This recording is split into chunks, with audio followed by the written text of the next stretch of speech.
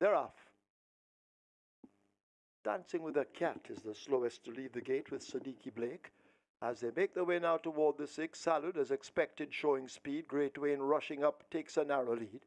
King Air is right there on the rail, Salud in between runners, along with Princess Sylvia, these four in a tight grouping as they make their way toward the five. Give me the light races just about six lengths off that lead. In the blue and the pink, that's Don Vincenzo, they leave the five. Traditional Lady in the green with the red cap races up next. Ahmed Ali now beginning to progress on the outside of Assurity and dancing with a cat left at the back. A half a mile to run. They go into that turn, and King Air pressed now by Great Wayne in the green and white. And a Great Wayne now picks it up on the outside as they lead the 716th.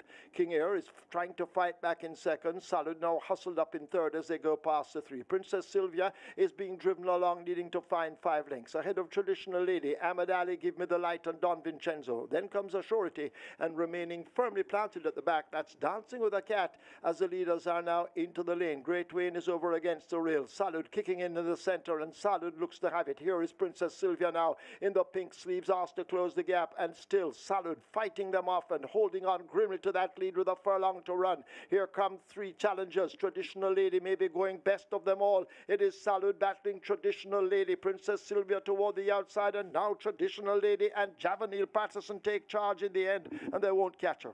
Traditional Lady wins by maybe three over Princess Sylvia. Then Salud, Ahmad Ali, Great Wayne could be fifth.